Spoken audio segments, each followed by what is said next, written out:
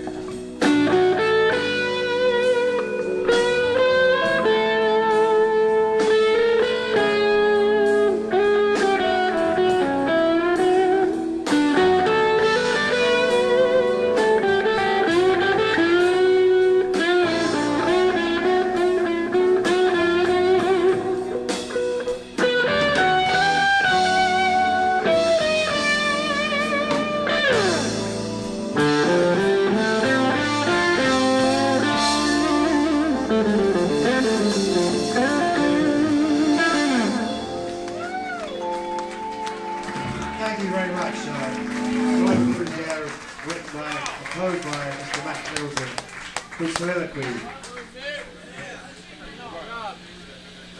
What does that mean? Talking to audience.